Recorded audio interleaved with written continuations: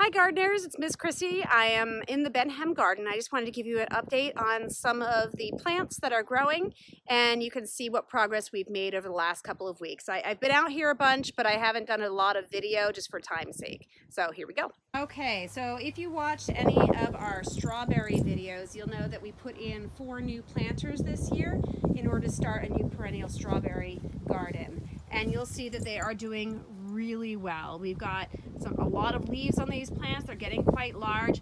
And if you zoom in and look at them, they have a number of shoots on them with flowers or already the beginnings of small strawberries. So over here um, on this one, you can see that there's already a little strawberry growing. So I'm very excited to keep watching these over the next couple of weeks to see how these um, fruits grow and start to ripen. So the mint is, as always, just taking over everything. So there's a ton of mint in the background there.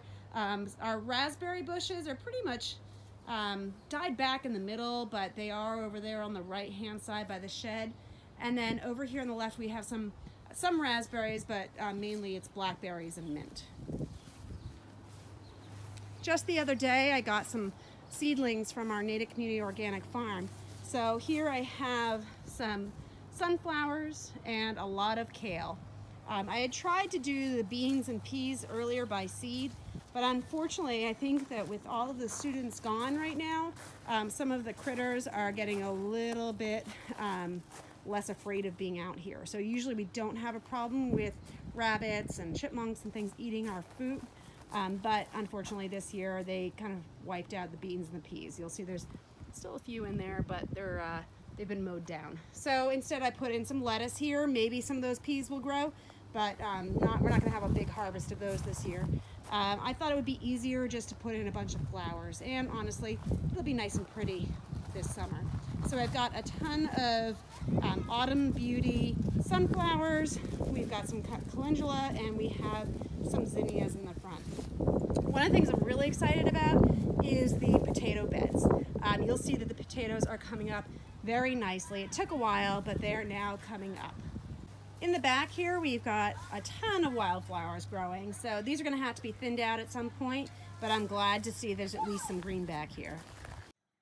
And then over here, uh, we showed this in our pollinator problem video, but our butterfly garden is coming back very nicely this year. We have got a lot of nectar plants coming in, a lot of liatris, aster, echinacea, um, we also have a good amount of milkweed already getting quite large, which would be great for our larvae when they come in. Um, we've got some grasses and again, just a lot of nectar plants for all of our pollinators, but specifically those monarch butterflies that are going to be coming in soon. So that's our garden and how it's growing.